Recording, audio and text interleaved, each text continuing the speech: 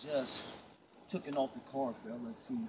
We were also banned from Warren County. Can you believe that? And look who was signed by. Can you see that right there?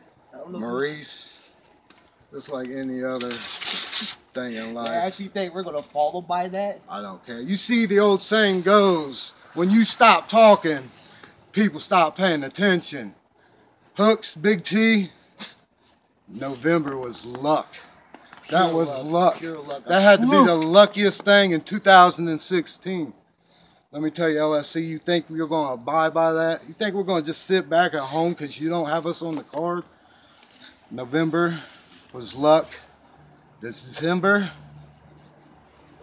it's going to be chaos. And you know what? And you know what else is in December? Christmas. And I think Santa came a little early for the BBM boys.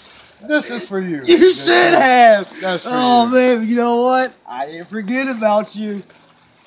Ah, I got it at Walmart.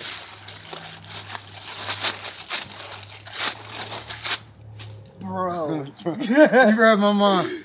Just what we needed. Season's beating. Woo.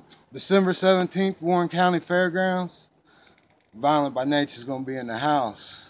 Sawed off assassin, the hitman, A gift from us and we got a lot to say. to you. Thanks. Thank you. This is nice.